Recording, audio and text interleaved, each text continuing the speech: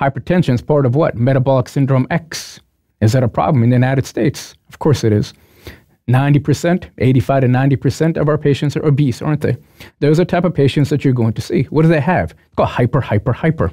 Hypertension, hyperglycemia, hyperlipidemia. Hypertension is a huge concept. So far, we've introduced the normal. We've gone into the cutoff point of 140 over 90, and there it be. And we got into urgency and emergency. You focus upon, please, anything beyond 140 and 90, you're in stage one. All the other categories that we see here, well, you take a look at it on your own time. Once you get into emergency and such, well, not only are you going to use your thiazides, think about thiazides. What do they do? Hmm.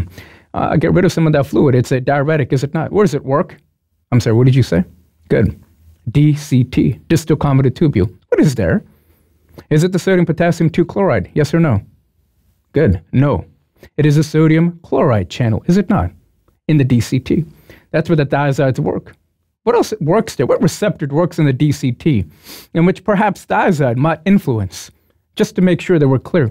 PTH, parathyroid hormone, huh? Keep those in mind as we move forward.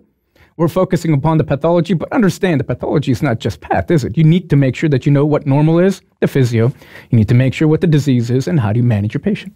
You just completed your first video of the world's best medical exam preparation.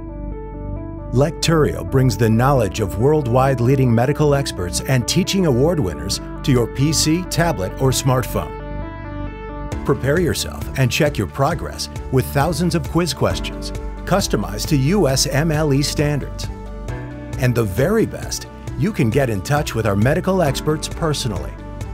Visit lecturio.com now and continue with the most inspiring medical education around the globe, anytime, anywhere.